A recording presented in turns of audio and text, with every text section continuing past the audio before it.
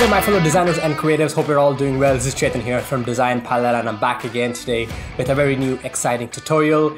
And in this video, we're going to take a look at the new improvements and features introduced to Adobe XD. This is the March 2019 update. We've got quite a few features and improvements in this video, so without any further ado, let's get started.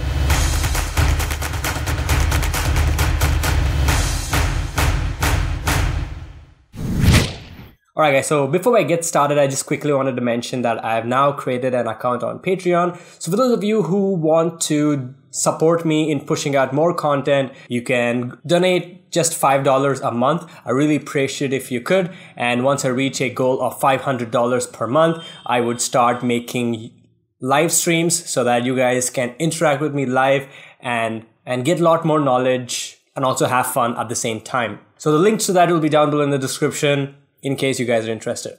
Anyway, moving on with the video, let's start off by the first one, which is related to copy and pasting editable vectors into Illustrator. Till today, you could only copy from Illustrator or Photoshop into Adobe XD, but today you can go ahead and and copy and paste vectors from Adobe XD to Illustrator. So for example, if I quickly want to show you, let's go ahead and grab a rectangle and I'm gonna go create a simple square. And then what I'm gonna do is I can go ahead and then press Control C to copy or Command C. So copy that. And I'm gonna go to Illustrator and I'm gonna paste it by pressing Control V. And there you go, it's been pasted. And uh, let's go ahead and I can actually go ahead, object, and choose expand. And once you choose expand, I can click on OK and uh, this is what we have. Now let's go ahead and see if I want to make some changes to this. So I'm going to press P to get my pen tool. I'm going to create an anchor point and then I'm going to drag this anchor point down to kind of give it like, you know, make it look like a mail icon. And then I can copy this by pressing Control C or go to edit and then choose copy. And I can go back to Adobe XD here and I can just paste it randomly. And as you can see, it's going to export, uh, paste it right over here. So, uh, and this is again completely editable because uh, this is a scalable vector graphic, which is also called as an SVG, which now the modern browsers use a lot. All right, guys, moving on to the next feature is about batch export. Now, in the older versions, there was only one way of marking an asset for batch export, and that is to probably select the uh, let's let's ungroup this.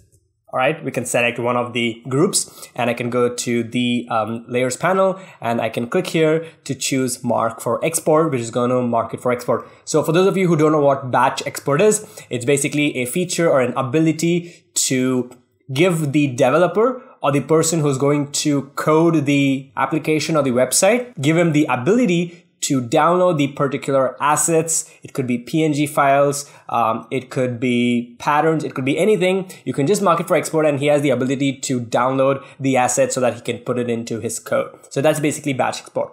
So this is the first way of doing it. Now the other two ways of doing it is you can right click now and then just choose mark for export. But obviously since this is already marked for export, I can, let's actually uncheck that, right click and then choose mark for export. And the other one is by, you know, clicking, clicking over here in the properties panel and marking it for export. Now the other feature related to batch export is when you're importing a Photoshop document. So let's go ahead and I'm going to go to file and then click on import. And as you can see, I've got a couple of documents over here, Photoshop documents. I'm going to click on one of it and I'm going to click on import. Alright, now as you can see, as soon as I imported it, I get this message saying 21 images from this file have been marked for export. So what's happening is Adobe XD is automatically recognizing these images that I have used in the Photoshop document and it's automatically creating them for export. So I don't have to manually go ahead and select the images and mark them for export for the developer to, to download. So if you want to take a look at it, I can select one of this image and as you can see, uh, this picture has been marked for export, which is pretty cool. So if I just go ahead and select this one, for example, you can see this picture is already marked for export, which is really cool and really awesome. It just saves a lot of time for me because XD is smart enough now to realize what are the assets that can be exported through batch export and automatically mark that for export.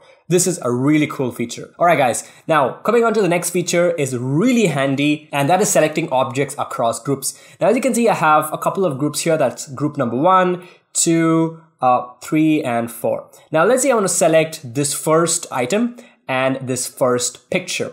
Now, the first way to select an element inside a group is to hold down control or command and I can select uh, that particular image. And if I want to select this image as well, I can hold down shift, but what it does, it, it selects the entire group. I wanted to select only this image.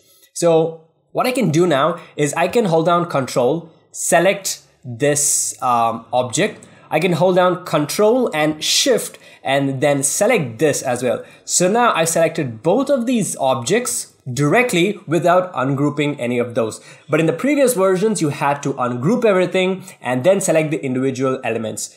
This saves a lot of time. This is one of the best improvements that they've had so far. Alright guys, so the next one is another awesome improvement and that is related to fonts. Let's say I go ahead and I'm going to select this text that says Lotus Temple and I'm going to come here to my assets panel and I'm going to click on character styles.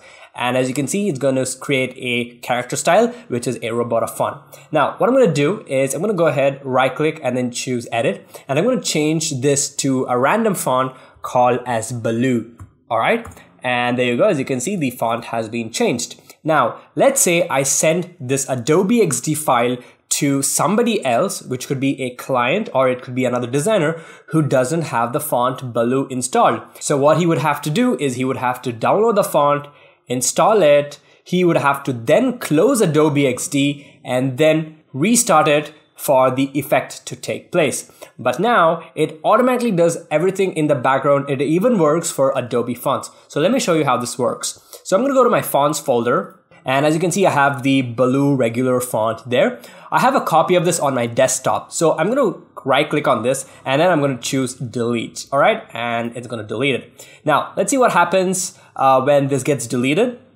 Adobe XD automatically realizes that a font is missing. So that's pretty good. Now you have this new section in the asset panel called as missing fonts. Now you can, uh, it shows you how many instances it's been used in. So that's pretty cool information. You can even right click and choose highlight on canvas to show where it is highlighted.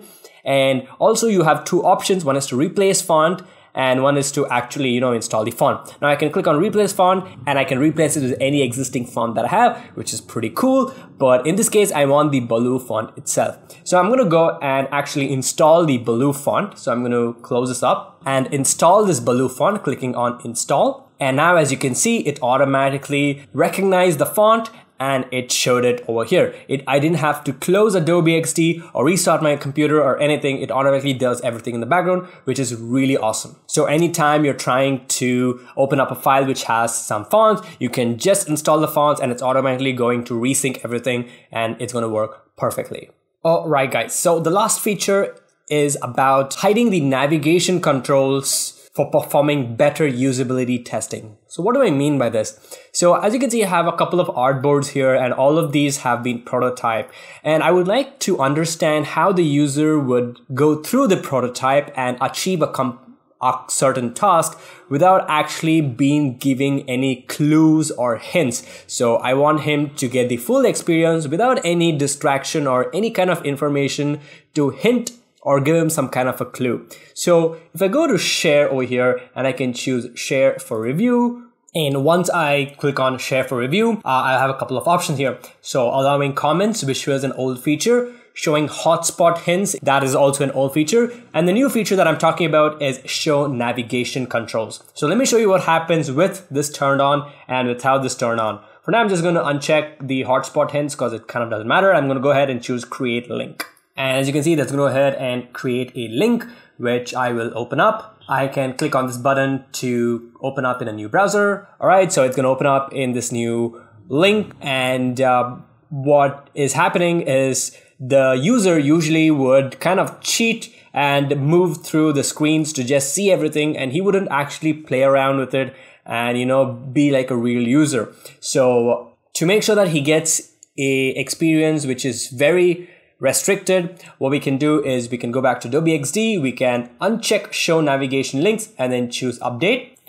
And now I can go back to the browser and I can go ahead and reload it.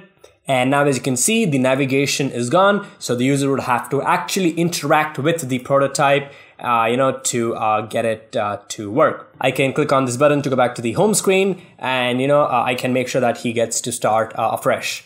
All right. So yeah. So that's pretty much it for this video, guys. Thank you guys so much for watching. Hope you guys really enjoyed it. If you did, let me know in the comment sections down below. Make sure to leave a like and subscribe to the channel for more amazing, awesome content. And I'll see you guys in my next video. So till then, take care and bye bye.